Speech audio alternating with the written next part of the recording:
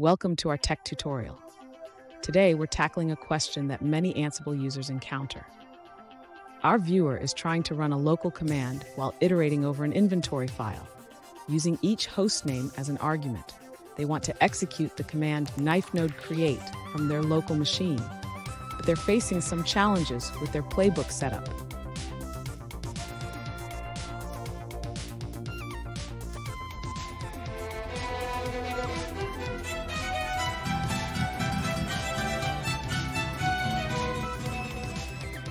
All right, guys, we're back with another technical question. I'll be going through the question, the answer, and I'm hoping, just like me, you stay a little bit crazy to get that answer all the way through. Guys, let's get started. To run a local command using Ansible, we need to set up our playbook correctly. First, let's define our playbook structure.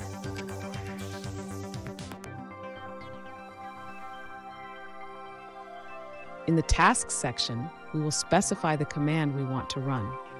Here, we want to create a node using the knife command.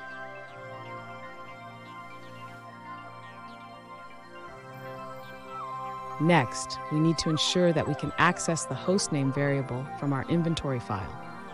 Let's take a look at the inventory format.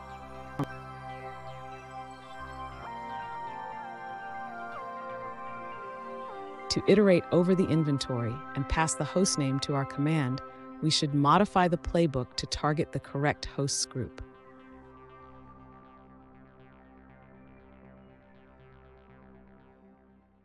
Now, when you run this playbook, it will iterate over the hosts in the QA hosts group and execute the knife command for each hostname.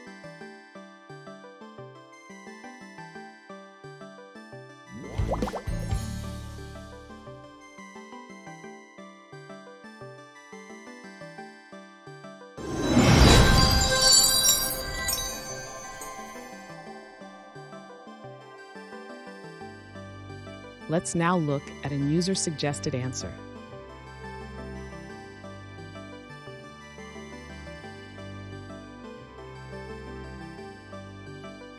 To run a local command using Ansible, you can create a playbook that targets your local host. First, define your playbook in a file named playbook.yml.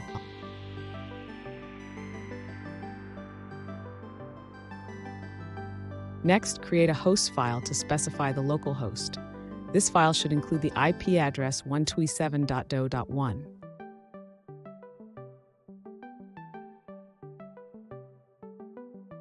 Finally, run the playbook using the Ansible Playbook command with the hosts file as an inventory.